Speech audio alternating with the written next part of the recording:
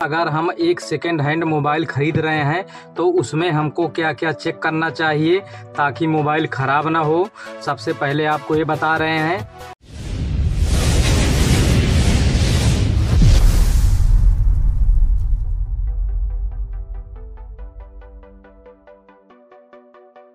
अगर आप second hand mobile खरीद रहे हो तो जिस मोबाइल जिस आदमी से खरीद रहे हो, सबसे पहले आप उसका बिल मांगिए। अगर बिल नहीं है तो उसका आधार कार्ड ज़रूर अपने मोबाइल में रख लीजिए, या मतलब आधार कार्ड ज़रूर ले लीजिए। और जिस मोबाइल जिस जिस इंसान से ले रहे हो, उसका एक मिनट के वीडियो बना के अपने मोबाइल में सेव करके रख लेना चाहिए। वीडियो में यही बनाना चाहिए, जो जिसकी मोबाइल है, आप खुद वीडियो में बोले कि हाँ ये हमारी मोबाइल है हमें हमारा नाम ये है, हमारा पिता का नाम ये है, हमारा गाँव ये है, और हम यहाँ के रहने वाले हैं। हम इनको मोबाइल फला तारीख को, इतना तारीख को बेच रहे हैं और इतना पैसा ले रहे हैं। ये मोबाइल चोरी का नहीं है, हमारा खुद का है। ये सब कहलवा के अपने मोबाइल में वीडियो बना के रखे रहिएगा। और कैसे मोबाइल को चेक किया जाता है, जो सेकेंड हैंड खरीदते हैं तो एक बार ज़रूर इसको चेक कर लेना लेने के बाद। लेकिन जो बता रहे हैं, ये सबसे ज़्यादा ज़रूरी है, किसी आदमी के ऊपर भरोसा नहीं किया जा सकता। चाहे गाँव का आदमी हो, चाहे बहरे का आदमी हो, कोई भी आदमी हो। देख लीजिए, ये हमारा वीवो का मोबाइल है, देख लीजिए, इतने अच्छे से इसका कवर लगवा के और इतना अच्छे से ग्लास लगवा के लेके आए हुए हैं बेचने के लिए।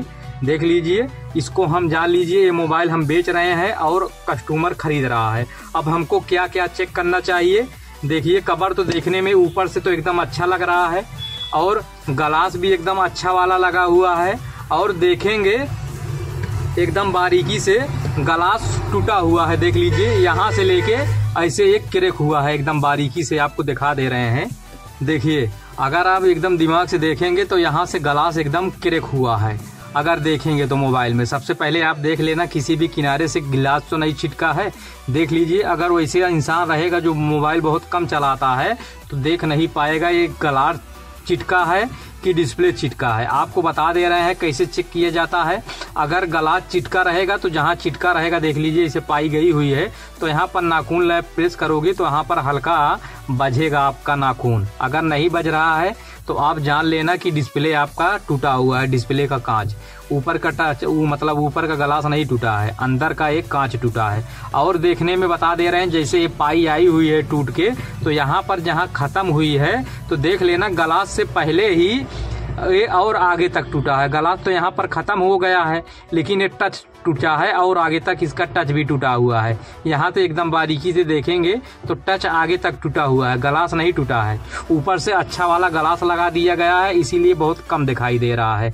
और यहाँ से देख लीजिए, यहाँ से ऐसे गया हुआ है, यहाँ पर एक चिरका हुआ है गलास गलास तो ये यहाँ तक है, लेकिन जो डिस्प्ले वाला गलास है, यहाँ तक है। यहाँ से हल्का एक बार बे दिखाई पड़ रहा है, नहीं ये डिस्प्ले वाला कांच टूटा हुआ है। आप इसको चेक कर लेना ना नहीं तो ऐसे से कर देना, अगर अंगुरी में बज रहा है, तब तो जान लेना कि ऊपर वाला टाट मतलब टूटा है तभी अगर अंगुरी में बज रहा है, तभी एक बार चेक कर लेना कि अंदरों वाला टूटा होगा।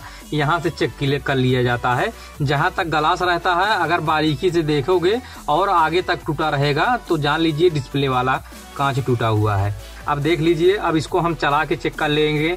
और इसको हम बढ़िया से चेक कर लेंगे फ़ोन करके कि हमारी आवाज़ आ रही है, जा रही है क्या क्या हो रहा है, क्या नहीं हो रहा है।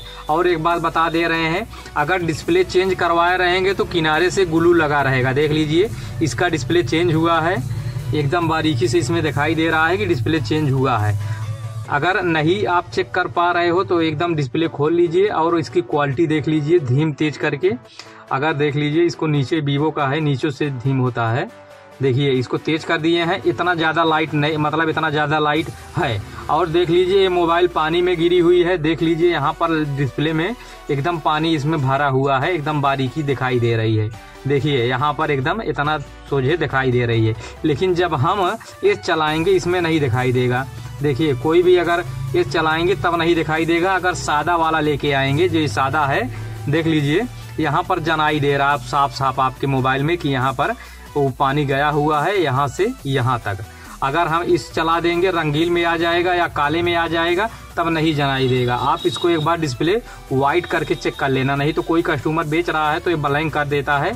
आप दबाओगे, सब ब्लैंक नज़र आएगा।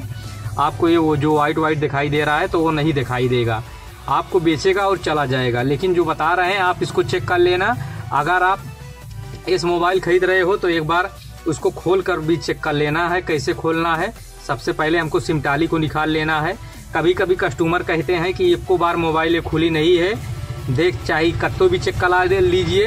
अगर आपकी मोबाइल ऐसे सिम निकाल लीजिए सिम टाली निकाल लीजिए, उसके बाद अगर कह रहा कस्टमर खुली नहीं है तो एक बार इस ढक्कन आराम से खुल जाएगा। देख लीजिए, यहाँ से नाखून लगाएँगे, आराम से ये ढक्कन खुल जाएगा। किसी भी मोबाइल का रहेगा, लेकिन जो पीछे पैनल रहता है वो कांच वाला वो नहीं खुलेगा, लेकिन ये जो ढक्कन रहता है, आराम से इसे खुल जाएगा।